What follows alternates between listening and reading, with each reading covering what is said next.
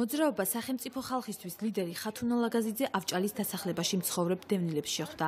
მოსახლეობის განცხადებით კორპუსები ამორტიზირებულია და შეკეთებას საჭიროებს.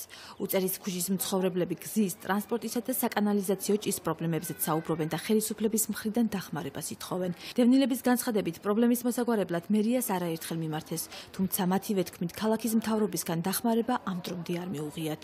აუცილებელია სასტრაფო წესით, რადგან საუბარია განსაკუთრებით მომავალ თაობაზე და ბავშვებზე. აქ დაიგოს გზა და ეს არ არის დიდხარჯებთან დაკავშირებული. სოფლებშიც ვერ ნახავთ ასეთ მდგომარეობას, რაც დღეს აქ არის თბილისის ამ ნაწილში.